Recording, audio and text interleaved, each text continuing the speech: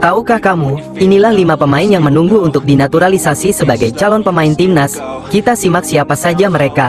Pertama, Hairori Edewal usia 27 tahun, posisi gelandang bertahan, bermain untuk klub Premier League Crystal Palace. Kedua, Emilio Audero Mulyadi, usia 22 tahun, posisi sebagai kiper, bermain untuk Sampdoria di Serie A. Pemain kelahiran Mataram itu sudah pernah berseragam timnas Italia level U21. Ketiga, Kevin Dix, berposisi asli sebagai bek tengah, pemain 27 tahun itu punya nilai pasar hingga 60 miliar rupiah.